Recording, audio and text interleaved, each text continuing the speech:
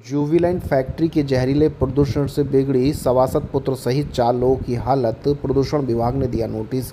बता दें कि गजरोला औद्योगिक नगरी क्षेत्र के मोहल्ला नाईपुरा के रहने वाले संजीव अग्रवाल वार्ड सभासद का कहना है कि 18 अप्रैल को जुबिलेंट फैक्ट्री द्वारा जहरीला प्रदूषण छोड़ा गया था, जिससे प्रदूषण की वजह से उनके पुत्र सहित मोहल्ले के तीन अन्य लोग भी, लोगों की हालत बिगड़ गई थी। वहीं चार लोगों की हालत बिगड़ता देख वहाँ मौजूद लोगों ने 108 एंबुलेंस को बुलाया और उन्हें अस्पताल में भर्ती कराया। इस संबंध में वार्ड सभासद ने मुख्यमंत्री पोर्टल व प्रदूषण विभाग के अधिकारियों से शिकायत की है। इसके बाद प्रदूषण विभाग के अधिकारियों ने जुबिलेंट फैक्ट्री को नोटिस जारी कर दिया है जिससे फैक्ट्री कर्मियों में हड़कम मच गया।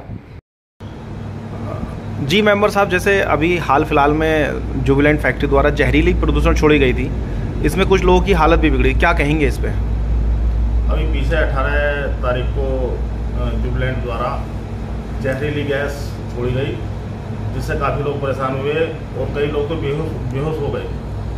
स्वयं मेरा बेटा यहाँ दुकान में बेहोश हो गिर गया और वहाँ नाइबरा गाँव में चार पाँच लोगों को अस्पताल में सीएससी में भर्ती कराया गया। एंबुलेंस बुलाई गई। ये फैक्ट्री जो है बार बार गैस छोड़ती है और कितनी बार इन्हें चेतावनी देने के बाद भी कोई इन पर असर नहीं, नहीं होता। अच्छा इससे पहले भी कई बार गैस छोड़ी और लोगों की हालत एक सैफी नगर में एक बुज़ुर्ग की मौत भी हो गई थी।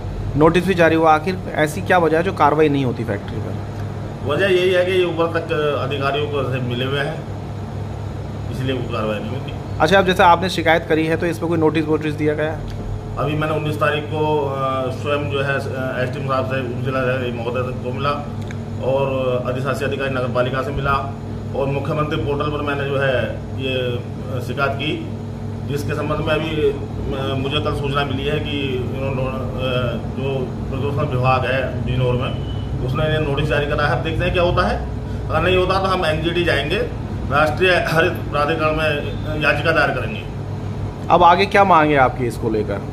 मेरी मांग यही है कि ये जो कभी भी गैस छोड़ देते हैं जिससे लोगों को परेशानी होती है गैस ना छोड़े और जो है इनकी पानी से हमारे वार्ड का और निकटवर्ती नाइपरा वार्ड का पानी बिल्कुल जहरीला हो चुका है। ठीक है।